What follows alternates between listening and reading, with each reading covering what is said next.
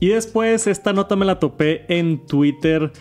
Mark Zuckerberg, ahorita Facebook ha estado empinadísimo. Facebook ha estado teniendo muchos problemas. La empresa conocida como Facebook, que ahora se llama Meta, ha estado en un montón de problemas. Bajó creo que 27% las acciones de Facebook, que es el cambio más grande que ha habido en una empresa que, que se cotiza en bolsa, ¿no? O sea, es, es una locura los problemas en los que está ahorita Facebook.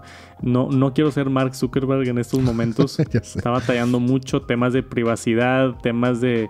No, no, no, un, borlote impresionante. Él famosamente dijo, y por eso tenemos este artículo, que más o menos como 10 mil millones de dólares fue por culpa de Apple y, al cambiar su, su estado de privacidad. Y yo mandé un tweet por ahí en Twitter y dije, esto nada más es un anuncio para Apple, güey. Sí, una, llamada de atención. O sea, ¿cómo? ¿Cómo? Sale Facebook y dice, esto es culpa de Apple porque ellos cuidan mucho a sus usuarios. ¿Cómo tiene eso sentido, güey? ¿Cómo... publicidad. ¿Cómo piensas que eso se va a ver bien si eres Mark Zuckerberg? O sea, no hay manera de que eso se vea bien. O sea, básicamente estás alabando la privacidad que tiene Apple al no rastrear sus usuarios. Por ende, no puedes vender información que no está concientizada. Facebook todavía puede venderte otras cosas, eh, rastrear tu información y todo, nada más que ahora el único cambio que hice Apple es que ahora te pide consentimiento. Sale ese mensaje de, hey, ¿quieres que te rastree esta aplicación? Sí o no.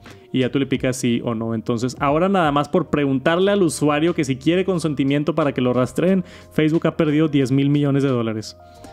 Y, deja tú, y le, o sea, le echa la culpa a Apple, o sea, únicamente, pero está como, ¿cómo se dice? Como, pues asegurando o afirmando que, digámoslo así, que pues que lo estaba haciendo mal, ¿no? O sea, que estaba rastreando información, o sea, es, más evidente. Y pues para eso también pues es como publicidad para Apple porque dices, oye, pues entonces Apple es un dispositivo seguro ahorita para Facebook. Claro, claro.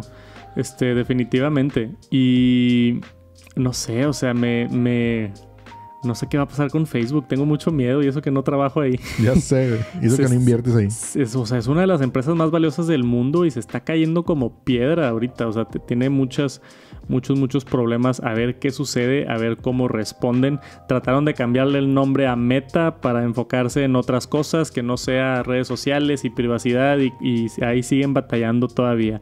Entonces, pues vamos a ver qué sucede. Esto de la transparencia de aplicaciones de Apple a mí se me hace una iniciativa excelente y no nada más por ser Apple, pero lo debería de adoptar Android con Google. Perdón, lo deberían de adoptar todas los, las tiendas de aplicaciones, ¿no? Y los productos de hardware, teléfonos, tabletas, este, consolas. No, no está bien que los últimos 10, 15 años nos han estado utilizando para rastrear nuestra información y vendérsela a terceros.